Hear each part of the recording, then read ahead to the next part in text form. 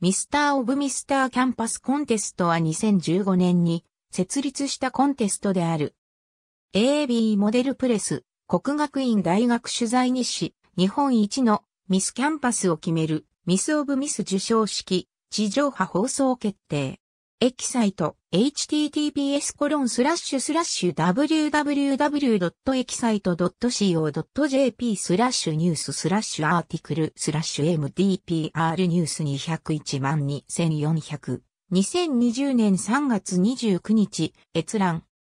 駒沢大学文学部2年の佐藤正也さんがグランプリ毎日新聞2017年3月28日閲覧。日本一のイケメン大学生グランプリは、駒沢大の佐藤正也さん。シネマトゥデイ。https コロンスラッシュスラッシュ www.cinematoday.jp スラッシュニューススラッシュ N0090552018 年3月27日閲覧。日本一のイケメン大学生、大ビリン大学、水沢良さんが栄冠。モデルプレス。Https コロンスラッシュスラッシュ mdpr.jp スラッシュインタビュースラッシュディテールスラッシュ17566102018年3月30日閲覧。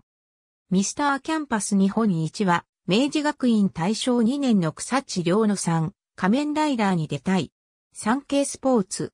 https www.sanspo.com 芸のニュース2019万328、ジオ19兆328億1545万 30N1、HTML2019 年3月28日、閲覧。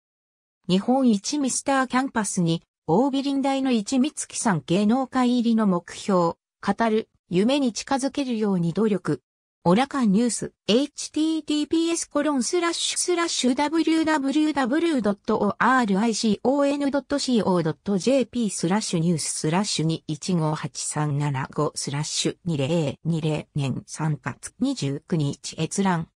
日本一のイケメン大学生立教大学、鈴木蓮さんが受賞。MR of MR キャンパスコンテスト2021、モデルプレス。モデルプレス、ライフスタイルファッションエンタメニュース。2021年3月3日閲覧。ありがとうございます。